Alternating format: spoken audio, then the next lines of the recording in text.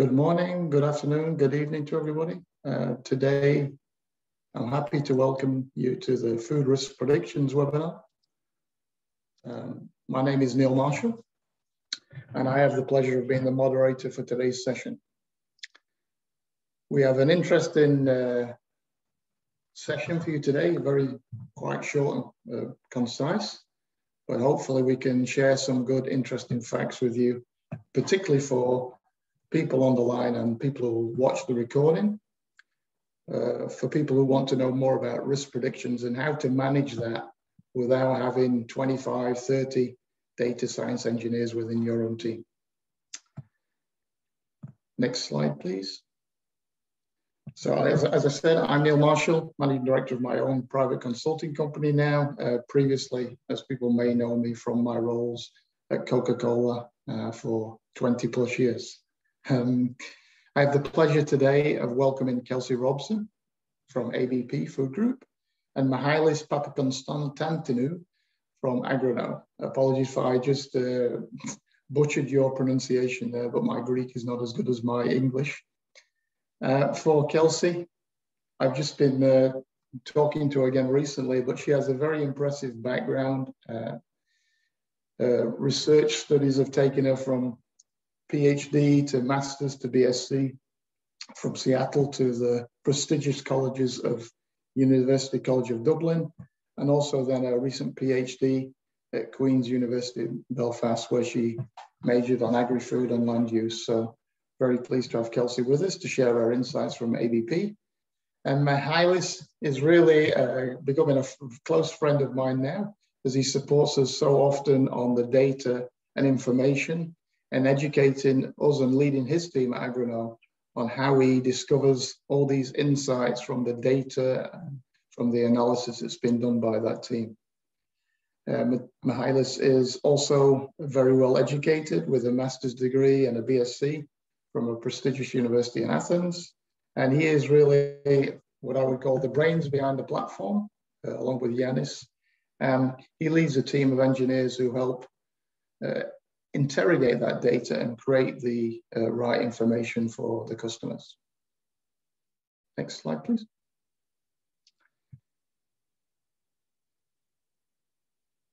Okay, so the goal from today, what is it? Well, we really want to try and, as I said in the, in the last slide, take you through the risk predictions and how you can do that and what tools you need to, to assess that data. You know, there's so much information out there but you need to be able to interpret that data. And how do you interpret it? Well, you need a tool like we're going to show you today, but is the best way without having a load of people on your staff with a lot of cost. But you need to be able to interpret and look for the right data. So that's also critical. Next slide, please. So where are we? I mean, one of the big challenges we're all facing now is, is the whole uh, position of consumer trust consumers, if you see on the left side of the slide there, you can see that not everybody is trusted in the same way.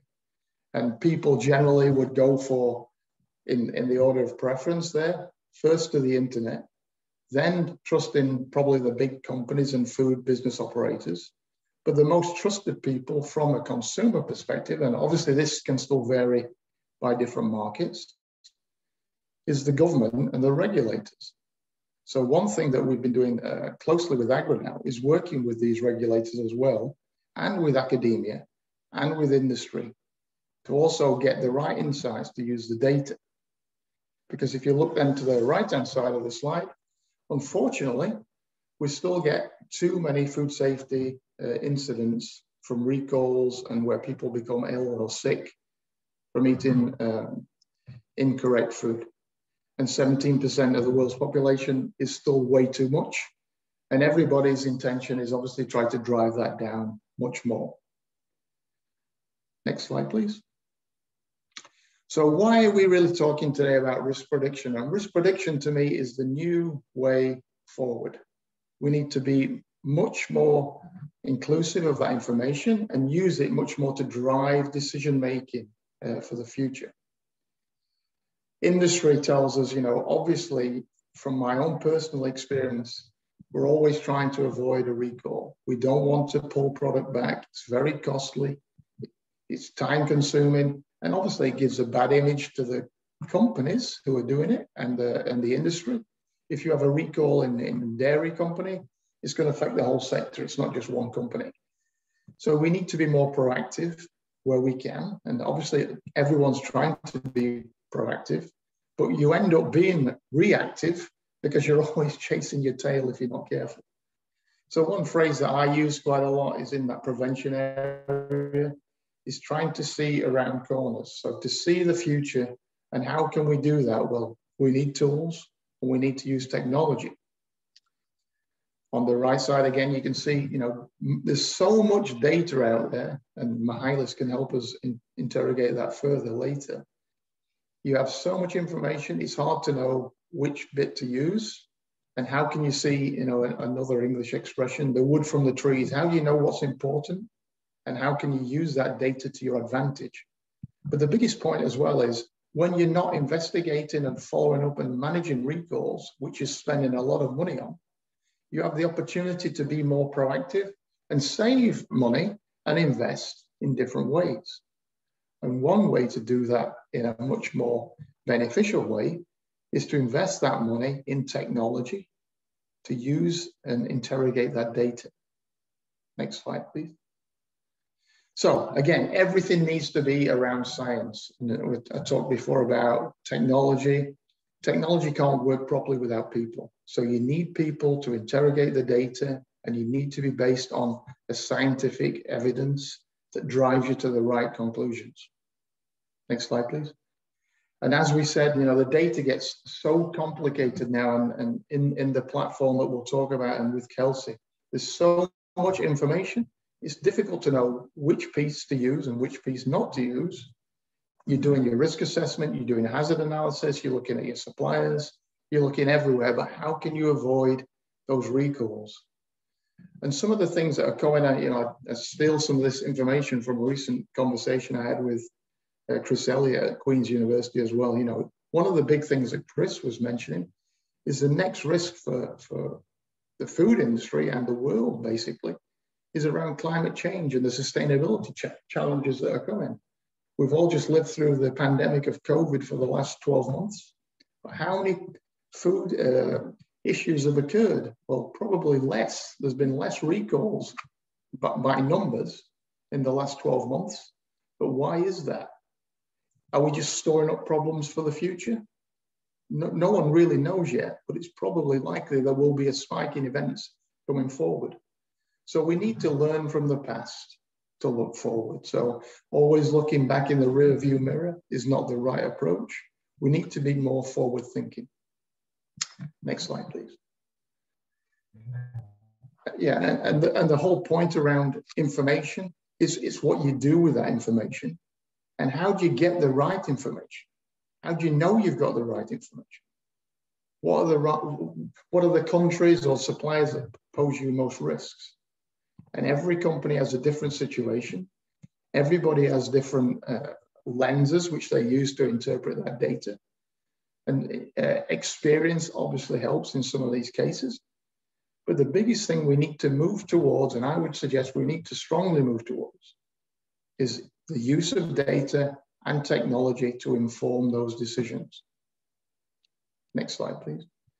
So one of those things again, I mentioned Chris, and I was talking to Chris again actually yesterday, uh, is the digital crystal ball. So we've coined that phrase between us. Uh, this is how do we use technology to look forward into the future? Next slide, please. And that's a critical point for us to use that data, to use technology and that digital crystal ball to interpret the information. You need to be able to have a simple dashboard where you can assess those risks, look at the different countries, capture it into one place. What better than to go to one place every morning, check on you as you log onto your laptop, look in one place to see all that information. I know in my case, in my previous role, that's what I like to do. I like to see everything, review it, move on, allocate the work out to the people that need to look at it. But you need to use that data and that interpretation to be constantly checking and wherever possible, we need to automate those approaches so it's not relying on people and experience.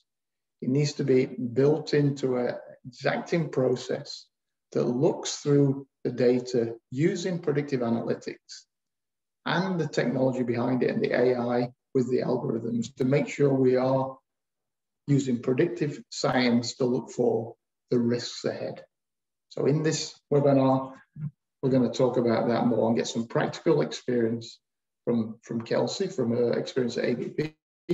And also then Mihalis is going to take us through some details and analysis, and then also a, a demonstration of the Foodakai uh, solution. So next slide, please. I think we have a poll, yes. Just before I pass to Kelsey, we'd just like to ask you to answer the poll, please, online. Click one of the responses, and then we'll incorporate that into the answers later on and share the feedback. Okay, next slide. So I think at that point, I'm now going to hand over to Kelsey. Okay, sorry, before we get quickly, we've got the responses. So we have the responses. So maybe this is a question into you, Kelsey. So let's just have a look. What do we get? We get probably 40 46% saying merging risks for ingredients is a thing that most people want to see, along with the supplier. So it's a joint tie. So I don't know about you, Kelsey. So what would you like a crystal ball for to see the risks at ABP? Maybe that's a nice intro for you for your first answer. And good morning, good afternoon. Yes, I think that's a good segue. Um, hello, everyone. I'm Kelsey Robson again. I work with ABP, a beef manufacturer, uh, primarily located in Ireland and UK. And we have been involved with Agroknow for probably the last six months, working on a project in predictive analytics because we do see a lot of value in knowing what's next, what are the emerging risks, what suppliers, what areas are issues going to come up in. And the big question is just where do we need to focus our resources? Um, how can we act proactively, particularly when it comes to food fraud, where there's so many unknowns um, where can we manipulate our mitigation and prevention techniques and testing so that we are the most prepared for any upcoming issues, whatever they may be. And if we have a crystal ball to tell us, focus all your testing or focus more of your testing in this area, that would be so helpful in how we can approach emerging threats and emerging hazards. So next slide, please. So um, then going into what we want to achieve with this project. And there are a lot of different things, a lot of different factors we hope to achieve. I think we've what we why we got involved are the big picture issues. We want a crystal ball, we want to know the emerging risks. But then there are a lot of little questions to get there. Again, what factors contribute to food fraud do we need to look at? Prices and trade and climate change and um, changes in legislation. How do those factors contribute to risk? And also, how do those factors interact with each other? And based off of those interactions, can we get that crystal ball to see what types of food fraud are coming next? What are the emerging hazards in our supply chain? If there's a climate issue, is that going to cause more substitution issues or is that going to cause more issues in um, mislabeling things, traceability? So having all that information in one location where we could quickly look at it, don't need teams of people to sort through horizon scanning and media mining, but have it in one area where we can quickly see patterns occurring and know what those patterns mean and some algorithm that tells us this is the hazard coming, it's coming in six months time or it's coming in a year's time so that we can adjust our testing methods to, to protect our supply base. So overall, we just hope that working with Agroknow can give us this crystal ball and help us where to help us mitigate these issues. So next slide, please. So that brings me to our last point. What value do we see? And the value is knowing where the issues are coming so that we can adjust our mitigation techniques and keep our supply chain and our supply base safe from any upcoming hazards and any upcoming threats to our supply base from around the world. So thank you.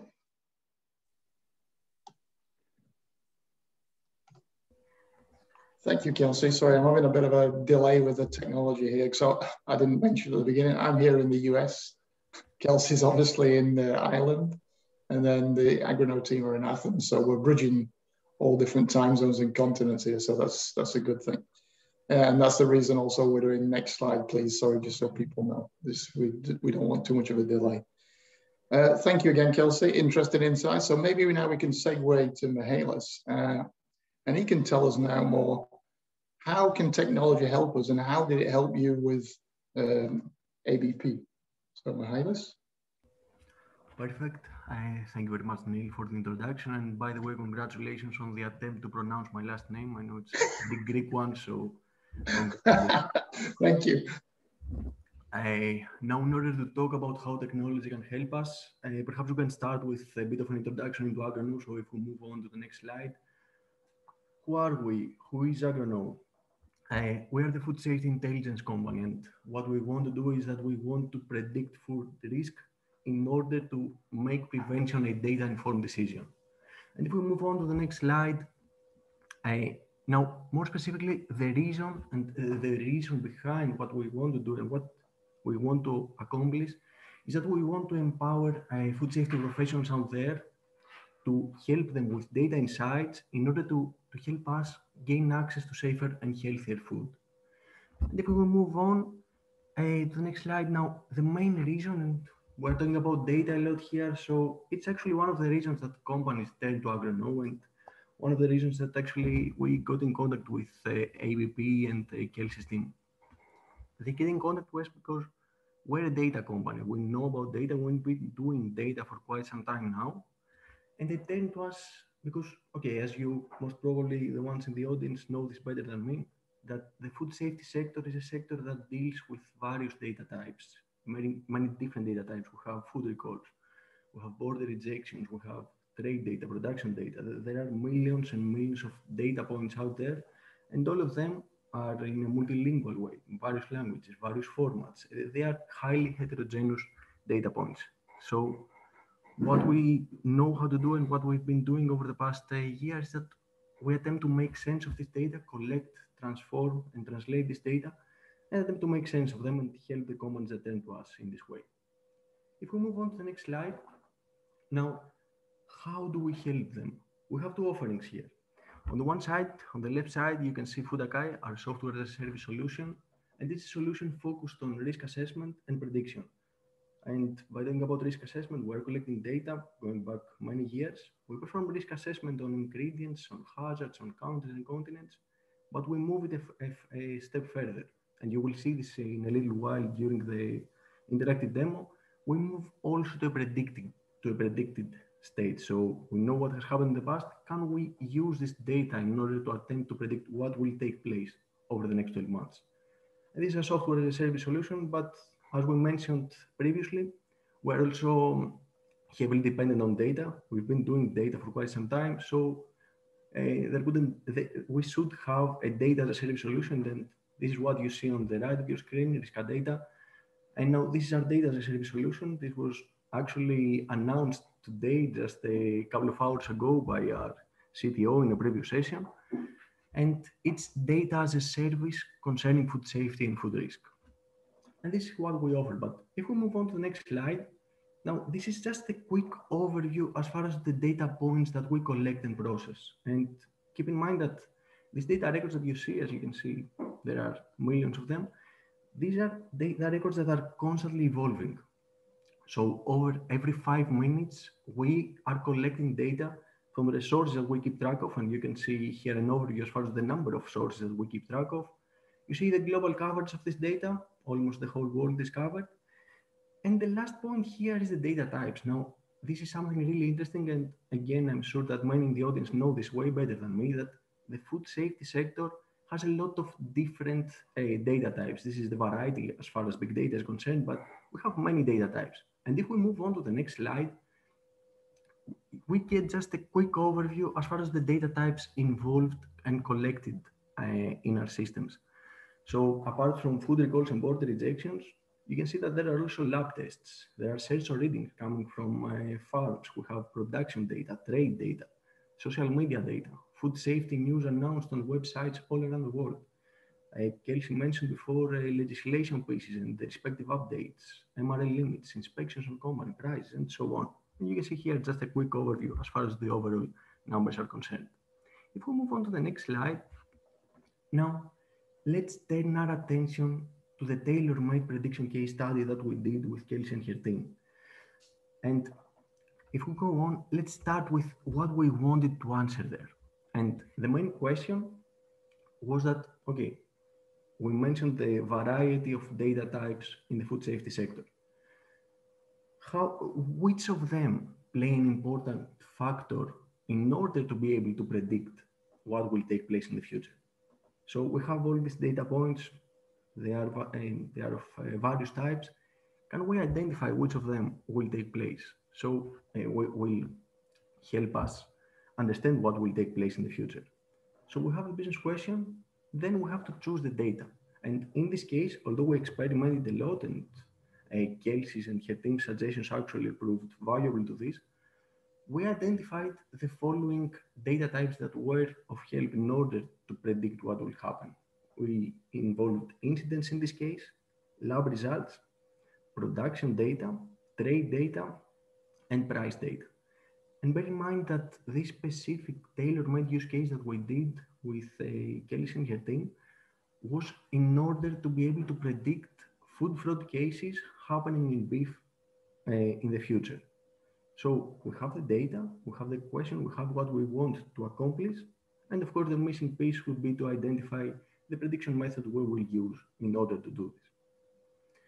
And this is just to give you a quick overview uh, as far as the this use case is concerned. And now what we did is that we deployed, we trained and deployed a dedicated model, a dedicated machine learning model for the case of ABP in this tailor-made uh, tool that we developed. Now, of course, since uh, this is actually tailor-made to ABP's case, we are unable to show a live demo, but we have here a quick overview on the image on the right.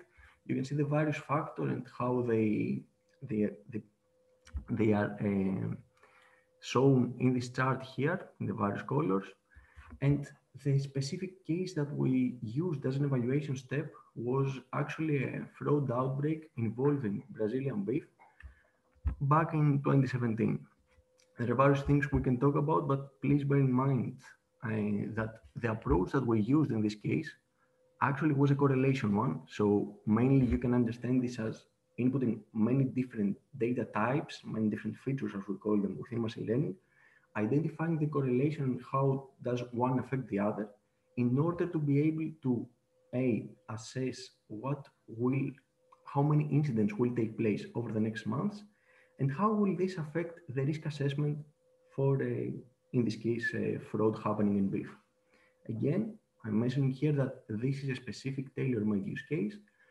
And uh, for those that really like numbers, you can see a quick overview as far as to the actual data records involved in this uh, specific use case. So you can see here that apart from fraud cases on beef, the other data types are actually in the scope of millions of records on or hundreds of thousands of records. And if we move on to the next slide now, this is what we did as far as um, the case, the tailor-made case for ABP.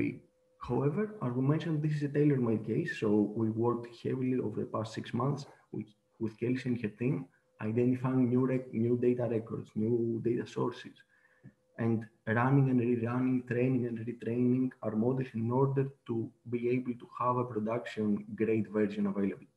This is one thing. And on the other side, we have Foodakai. Now, this is accessible to all. This is, as we mentioned, our software as a service solution, and it's a food risk prediction platform.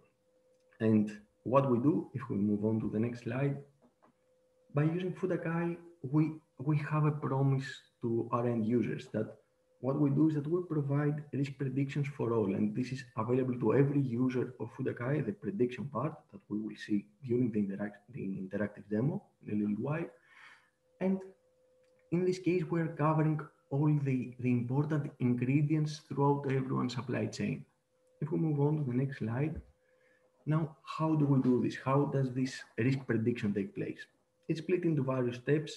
Of course, on the first step, we have the risk identification part. We have to identify what is the, the risk that will take place. And this is split into on either an ingredient level or on supplier level. Because of course, in this case, countries of origin play a different factor. And of course, the end game is to actually be able to inform our user, our users before something takes place in their supply chain and alert them previously so they can perform some um, remedial steps. We move on to the next slide. Now, as far as the first step of the risk identification, now this is where the data comes in. We collect data, and as we mentioned before, we collect them every five minutes. And this data are global food safety data, food recalls and border rejections happening on a market level. And by having access to this data, we're able to identify emerging hazards. So which ingredient is, is showing an increasing tendency in terms of number of incidents or for specific uh, hazards. And then in this data, we also have available suppliers, name of the food companies that have either manufactured the recalled ingredient, that may have uh, imported the recalled ingredient, packaged it. So we have information of food companies. So the, the way that we use this data in order to evaluate the supplier is that we take this into account and we are able to perform supplier assessment on top. So if we move on to the next part, now how, how does this help? And how does all of this, all, all of this collection of data help in order to identify risk? We have pointed out here four specific cases. On the, uh, we have fipronil next back in 2017, the ethylene oxide outbreak, Prochloraz mandarin in mandarins and oranges, and the latest in peppercorn. So these were all caught by our scanning part of the solution. If we move, if we move on to the next uh, step, now, if we move on to the next slide, please. Perfect. So now having access to all this data, we're able to perform risk assessment. And using this data, we can identify uh, what is the risk value of a specific ingredient. And if we move on to the next step, then we can perform the actual prediction on top. So having all this data, performing the analysis, we are able to, to attempt to predict what will take place in the future. Next slide, please. And this is what is covered by Foodakai. Now, uh, during the interactive demo, we will uh, show you the prediction dashboard, but just a quick overview as far as the other functionalities of Foodakai they have to do with the scanning part. So we're constantly monitoring for new cases happening worldwide and we alert our end users for them. We identify emerging hazards and perform the respective analysis, perform supplier evaluation. We, we allow our users to perform reporting in an automated way. We collect and allow these insights available, the global lab test insights are available within our system. And as mentioned in the previous slides, the risk assessment and the risk prediction part are all available there.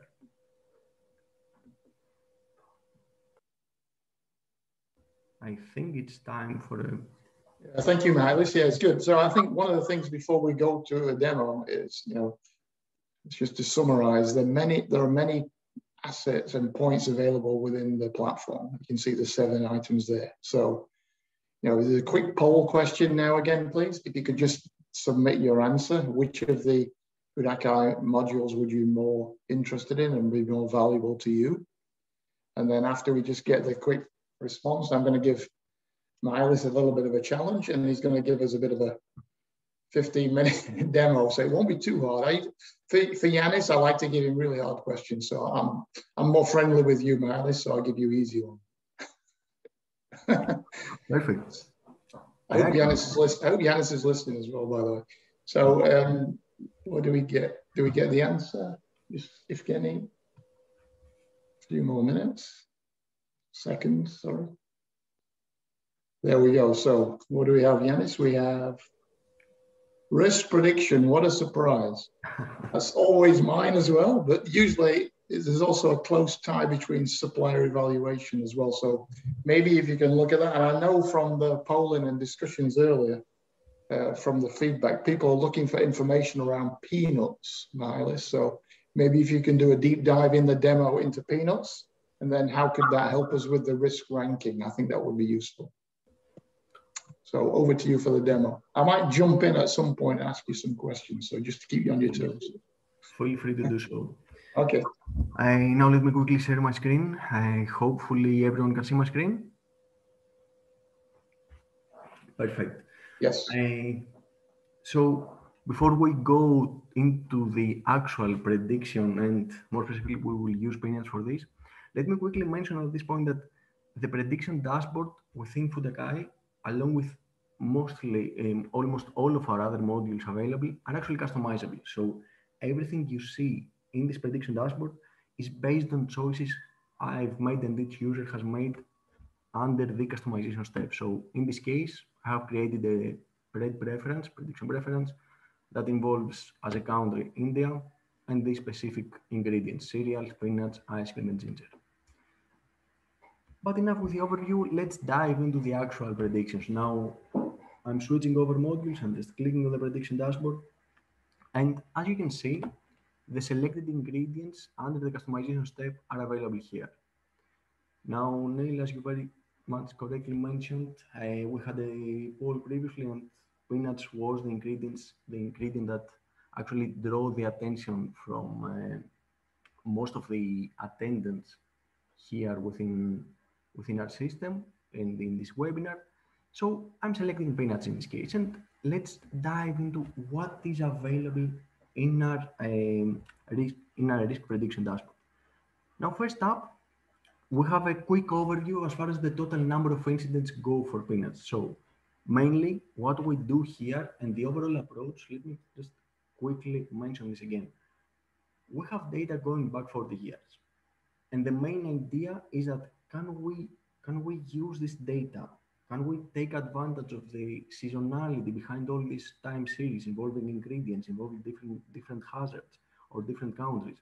Can we take advantage of all these trendings and seasonality and be able to train models, train dedicated models for each ingredient and hazard in order to identify what will take place over the next 12 months? And what do we see here are actually the results of our most accurate uh, predictive capabilities, so predictive models. So going back to the actual dashboard, a quick overview as far as the total number of incidents. What took place in the last 12 months, what our most accurate models believe will take place over the next 12 months, and what is the respective tendency. And if we move on to the chart on the right, Okay, so we know 133 cases will take place for peanuts based on our most accurate models. But how, but how are these cases spread throughout the next 12 months? And you can see this on the chart here. If you hover on any of the points on the red dot, on the yellow dotted line, you can see the respective values. So, okay, we got a quick overview. Can we dive in deeper? Which are the specific hazards that are likely to increase based on the outcomes of our most accurate models. And this is what we attempt to identify in the next table available here. We're still looking into peanuts and we dive in deeper. So what will take place for peanuts? What are the hazards that are likely to increase over the next 12 months? And in this case, we have mycotoxin and aflatoxin, no surprises there but also the cases of pesticides or absence of health certificates are also available. And again, what signified here is what took place in the last 12 months and what, what our most accurate models believe will take place over the next, for instance, for the first line, specifically for mycotoxin appearing in peanuts.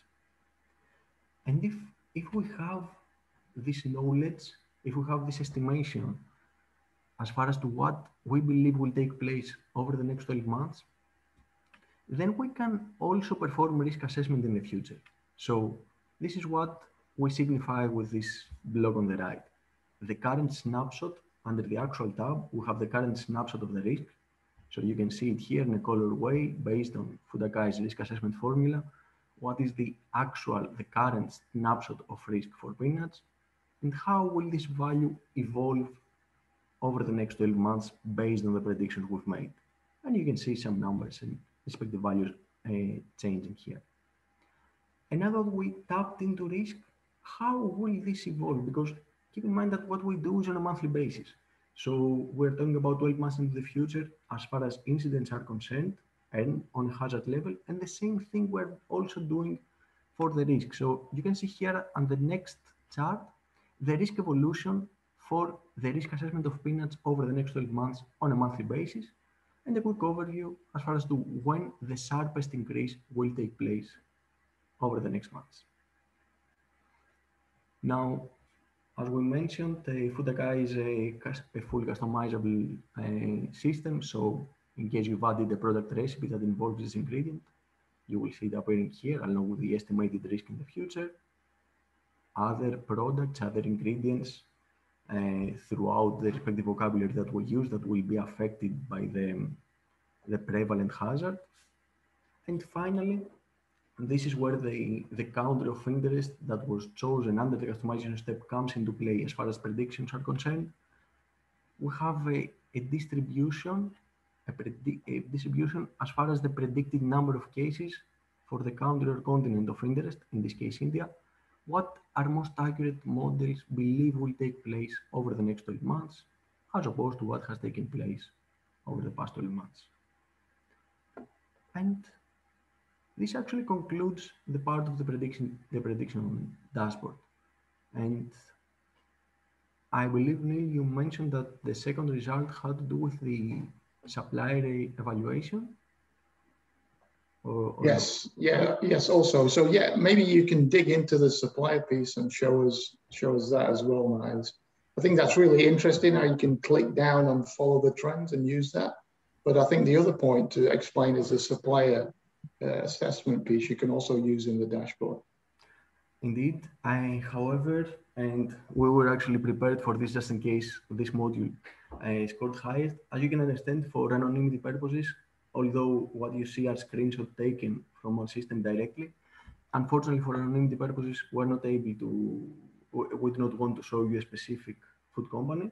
So we will do this in an anonymous way uh, over the next slides. Now, this is an actual. I think that's a good point, though, Miles, as well. You know, what, especially when you talked about the data feed as well, the API.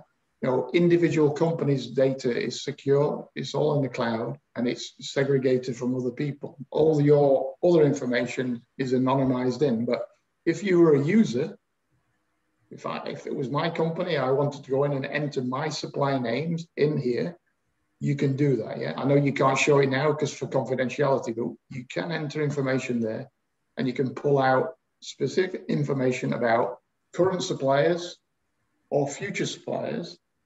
Sorry, I'm doing your demo for you no, there, no. and then giving the information. Yeah, and giving the information about you know if I want to source from that supplier in India, what are their previous issues? Can I pull information from the system that I wouldn't be able to find from the normal Google? So maybe you can just talk to that as well a little bit. How do you get that? And how do you then ensure it's correct, the data? What do you and your team do to make sure it's right? That's an excellent point, uh, Neil. And this is why we've actually, uh, now the slide you're currently seeing is a screenshot taken from our system. What we want to do is give our users a Google-like look and feel and be able for them to search throughout our database for any kind of supplier they want. So in this case, we're just searching for supplier A and as I'm sure you can understand, uh, the name of a food company may appear in various formats. So in this case, we're searching for supplier A, but country A is referring to it as supplier A incorporated or LLC or any other various names. So what we do in order for our system to respond with a respective results, what we do is that we aggregate this information together. So this information may be alternative names, how well the food company is called throughout the world, but also we collect information about subsidiaries. So by searching for a specific supplier, you can actually go over and see information that also aggregates information coming from their subsidiaries. And this is what we showcase over the next slide. So this is how you can search for a supplier just by clicking on the supplier check, you access all of the data that we have collected, going back 40 years in total. Under the My Suppliers tab, we can perform specific assessment uh, for specific suppliers. And if we move on to the next one, we can create a, a risk profile based on the data that we have collected for supplier A in this case. And you are seeing a, a respective screenshot from the supplier profile of supplier A. And if we move on, what else is available here is that, let's say you've inputted many suppliers and you want to get a quick overview as far as risk is concerned for these suppliers. We have a dedicated dashboard for this. This is where all the suppliers you've added under the My Suppliers tab, under the customization phase, you will see them appearing here as supplier A, B, C, and so on. And you will see various factors coming into play. So we have incidence risk, ingredients risk, counter risk, recalls, border rejections, inspections, warning letters, and so on. And you can also add your own data, as Neil very much correctly mentioned. You can add your own data that will actually be dedicated to your instance of uh, Food And if we move on, by adding your data, you can change also the weights and how we calculate the risk uh, for each supplier. And this is showcases in this slide. And moving on, and Neil, going back to you in this case. Yeah, thank you, Miles. Yeah, so obviously we can't show everything as clearly as we'd like to. Uh, I think one thing to just be aware of, you know, you can obviously follow up separately, and I'll give you a, a name and a contact in a minute. But just to summarize and, and just go through what we've talked about, basically there's three different options uh, that you can choose from to, to select with the Foodakai package, from a starting to premium to diamond, and different features are included.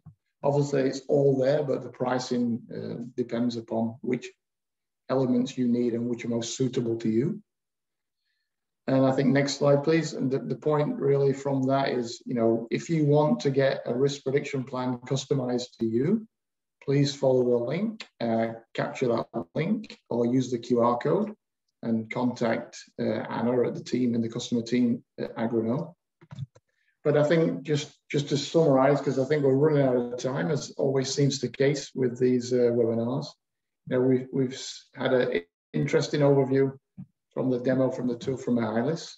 We heard from Kelsey, and thank you again for your insights on how you started to work with Agroknow from ABP, and particularly around the beef risks and the food fraud issues uh, to mitigate those for your company.